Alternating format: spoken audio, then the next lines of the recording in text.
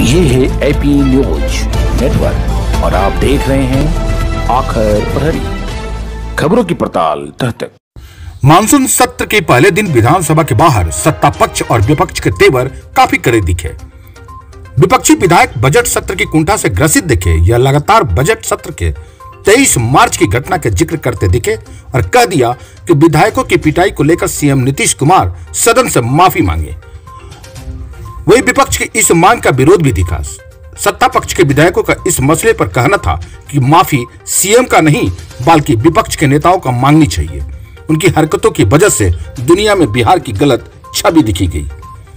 इसी बीच राजद के दो विधायक, सतीश दास और मुकेश रोशन, विधानसभा के बाहर हेलमेट पहने नज़र आए। इस तरह से विधानसभा आने की वजह पूछे जाने पर राजद विधायक मुकेश रोशन दो टुक कहा कि सेल्फ डिफेंस के कारण हेलमेट पहनकर आए हैं। जब बिहार में विधायक ही सुरक्षित नहीं है तो आम आवाम की क्या सुरक्षा होगी? बजट सत्र में हमारे विधायकों और साथियों के साथ इतना घृणित और निंदनीय व्यवहार हुआ जिसकी किसी ने कल्पना तक नहीं किया था। उक्त मामले पर मुख्यमंत्री चुप नहीं बैठ सकते हैं। हम उनसे सदन में माफ़ी मंगवा कर रहेंगे। इसके अलावा मुकेश रोशन ने कहा कि मानसून सत्र में सरकार की कोरोना काल में हुई लूट, युवाओं के मिलने वाले रोज़गार शिक्षकों की पक्की नौकरी के मसले पर घेरेंगे। हर मामले पर मजबूरी।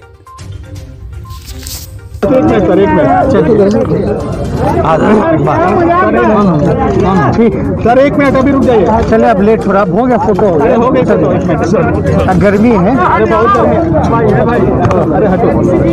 भूमिका है विधानसभा। महत्वपूर्ण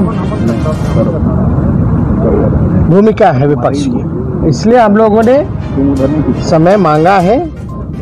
अध्यक्ष महोदय से कि कल जो है, दो प्रस्ताव हम रखेंगे। वो दो प्रस्ताव रखने की मंजूरी हमको दें। और उन्होंने मौखिक कहा है कि हम आपको प्रस्ताव रखने का मौका देंगे।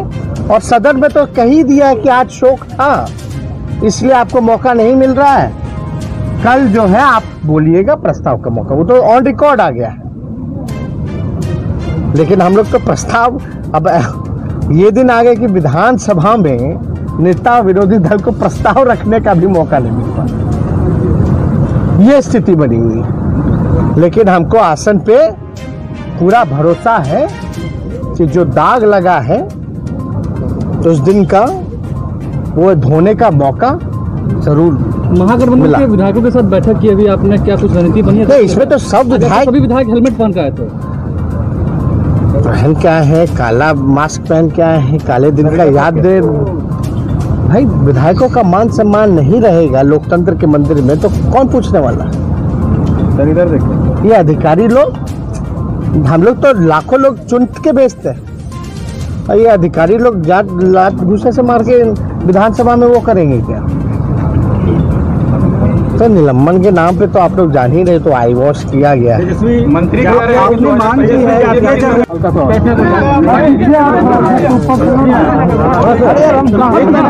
सब लोग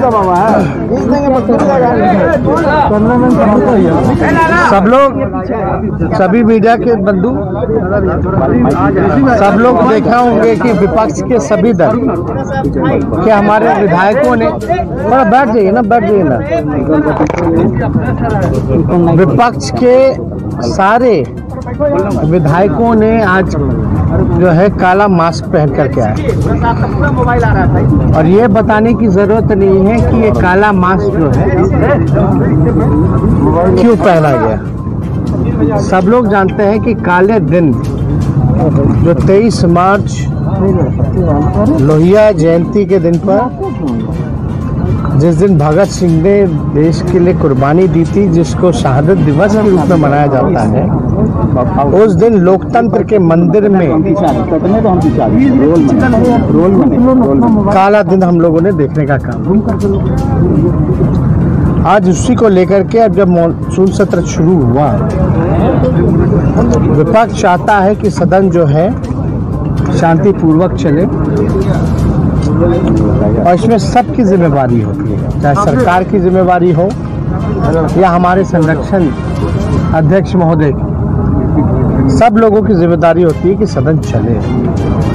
और हम लोग लगातार जनहित के मुद्दे को उठाते रहे हैं और उठाते रहेंगे कोई भी ऐसा मुद्दा ना हो जो छूटे।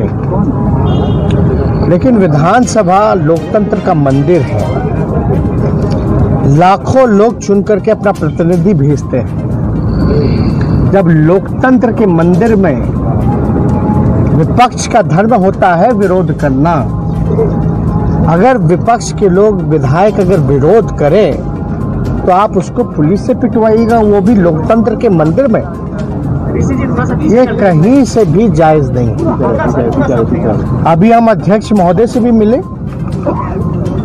और हमने बोला कि हम लोग सब लोगों का हमेशा समर्थन चलता रहा है सदन चलाने में। तभी जाके 93 परसेंट जो है सरकारी जवाब आया है, जो हमेशा अध्यक्ष महोदय कहा करते हैं। लेकिन जहाँ विधायकों का मान सम्मान नहीं रहेगा, विपक्ष का मान सम्मान नहीं रहेगा, उसको अपनी बात रखने का मौका नहीं मिलेगा तो कहाँ का लोकतंत्र बचा? जब गालियाँ दी जाएँगी विधायकों को बूथ से कुचला जाएगा, महिला विधायकों को घसीट करके फेंका जाएगा तो क्या मतलब रह जाएगा? आप सबको हम कहना चाहते हैं, सुप्रीम कोर्ट ने क्या कहा? पंद्रह दिन पहले? यही कहा ना कि बिहार में कानून का राज नहीं, पुलिस का राज है। जिस बात को हम लोग कहते हैं, वो काले कानून के बाद तो समझ नहीं क्या हो रहा? है तो जो बात को हम कह रहे हैं, वो तो सुप्रीम कोर्ट भी कह रहा है। और हाई कोर्ट ने तो ये तक कह दिया कि माइंडलेस गवर्नमेंट माइंडलेस गवर्नमेंट तो आप समझ जाइए कि बिहार की क्या स्थिति बनी हुई है। तो आज हम अध्यक्ष महोदय से मिले और हमने बोला कि भाई आज हम खड़े हुए थे प्रस्ताव रखने के लिए। और कोई भी सदस्य का अधिकार होता है कि विधानसभा में कभी भी अध्यक्ष महोदय अगर स्वीकृत करे तो प्रस्ताव रख सकता है। ये उनका कर्तव्य है, जिम्मेवारी है। और नेता विरोधी दल होने के नाते हम चाहते थे कि आज जो है प्रस्ताव रखें। उस पर चर्चा होती, निर्णय होता। लेकिन एक तरफा नहीं होना चाहिए।